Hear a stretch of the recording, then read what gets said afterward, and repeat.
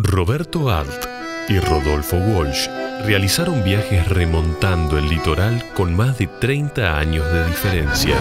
Eduner presenta por primera vez sus aguafuertes y crónicas reunidas bajo la edición de Cristina Iglesia.